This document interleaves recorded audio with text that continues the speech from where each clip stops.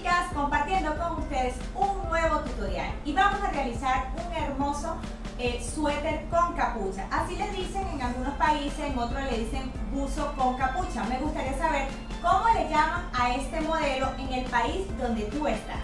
¿Cómo obtener mis patrones? Debes escribir al correo que aparece acá debajo o ingresar directamente a mi página web. Allí voy a estar colocando los patrones disponibles, los cursos que estoy dando por WhatsApp. Además, no tienes excusa para recibir los patrones porque ya están en formato digital. Y lo bueno es que tú puedes ir cosiendo, ir viendo el tutorial porque todos mis patrones ya tienen su paso a paso en mi canal de YouTube. Además, debes de seguirme en mi red social Instagram porque allí estoy colocando mini videos como este collar que tengo acá. Ahí enseño a realizar también lazos. Así que si tu intención es aprender y emprender, debes seguirme en todas mis redes sociales. Debes compartir este video para que otros chicos y chicas puedan aprender. Suscribirte si aún no lo has hecho. Así que nos vemos en un próximo tutorial. Para realizar este modelo debes eh, tener tela, lo que le dicen tela de mono, eh, también le dicen tela polar y es una tela que viene como peludita por la parte de adentro. Pero también lo puedes hacer con cualquier otra tela que sea cotton licra. Lo que pasa es que normalmente se hace, como es para frío, se hace con telas gruesas. Ahora, vamos a cortar la pieza delantera, que acá se le ve la parte del cuello, y la pieza trasera al doblez de la tela y al ancho de la tela, que estire, ella siempre cede un poquito al ancho. Vamos a cortar la manga, si este, vamos a hacerla, porque la puedes hacer manga corta o preferiblemente manga larga, porque si la estás haciendo tipo suéter, tipo buzo, eh, debe ser manga larga y lo vas a cortar igual al ancho de la tela, dos piezas. Esta es la parte de la capucha que vamos a cortar, dos piezas enfrentadas. Esta es la parte del bolsillo que lo puedes cortar más pequeño. Ya el bolsillo incluso es opcional, lo puedes hacer con bolsillo o sin bolsillo. Y la parte de los puñitos y de la cintura que lo cortas de 12 o 15 centímetros a lo ancho y vas a cortar la pieza de abajo y los puñitos. Esta es la pieza del bolsillo. Pasamos un, un zigzag o una fileteadora y vamos a doblar aproximadamente un centímetro y vamos a colocarle costura recta a los bolsillos. Ubicamos la pieza delantera para colocarle el bolsillo. Lo centramos, luego de pasarle la costura a los lados, doblamos un centímetro hacia adentro y vamos a pasar una costura recta por toda la orilla. Doblamos acá, doblamos de aquel lado y doblamos también un centímetro hacia la parte de adentro. Pasamos una costura recta para hacer la terminación. Después de fijado el bolsillo, vamos a enfrentar derecho con derecho y vamos a unir la parte del hombro.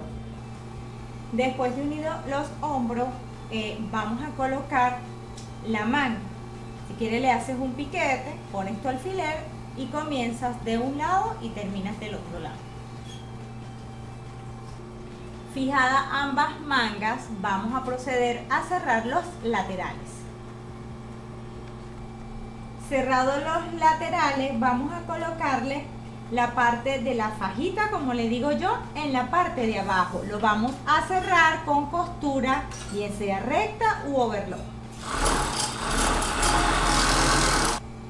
Cerrada la pieza, así como hacemos los cuellos, lo doblamos de esta manera, tratamos de que nos quede de un costado y hacemos unos piquetes, muy importante que le hagas cuatro piquetes para que no te vaya a quedar un lado más arruchado que otro.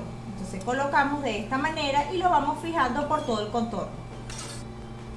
Ya coloqué la parte de abajo, como le digo, la fajita. Ahora vamos a colocar la parte de los puños que se hace de la misma manera. Ya esa pieza está en el patrón. Entonces luego de que la cierro, la voy a voltear de este modo Como hacemos los cuellos, tal cual, si has visto los tutoriales de cuello, se hace de la misma manera. Y colocamos derecho, eh, perdón, costura con costura para que todo quede derechito y lo vamos a fijar, metes la manga y lo vamos a fijar por todo el contorno de la manga. Y ya el suéter está casi casi listo. Ya tenemos el puño, la parte de abajo, lo dejamos de un lado porque nos falta el cuello que lo va a terminar con la capucha. Entonces por el lado más curvo, aunque eso lo indica el patrón, colocamos derecho con derecho y unimos por todo el contorno de la capucha. Unida la capucha, vamos a pasar con la overlock o fileteadora una costura por acá para doblar y repisar. Doblas un centímetro aproximadamente. Si vas a colocarle eh, con la remachadora el hueco para pasar el cordón, debes hacerlo antes de pasar esta costura.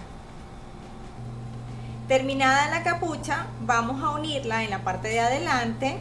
Lo colocamos uno encima del otro a un centímetro aproximadamente. Es un poquito grueso. Es extraño yo usando alfiler, pero acá sí hay que usarlo. Colocamos un piquete en toda la parte del centro y vamos a colocarlo de esta manera. Derecho con derecho. Para no quitar este alfiler voy a medio montarlo para que ustedes lo puedan apreciar. Y lo próximo que voy a hacer es buscar el eh, piquete con costura y lo voy a fijar como fijamos los cuellos, todo redondito. ¿ok? Todo redondito, derecho con derecho. Puedes comenzar desde acá o desde la parte de la espalda. Vámonos a la, a la máquina. Como les dije, monto, yo le quité el alfiler, busco el centro y voy a comenzar. Si ustedes quieren bastean antes. Lo bueno del patrón que les da exacto, no, no tienen que estar agregando ni nada. Y vamos a ir colocando capucha con suéter. Y si ustedes, al igual que yo, no tienen la remachadora, bueno, abrimos un huequito muy pequeñito con tu tijera.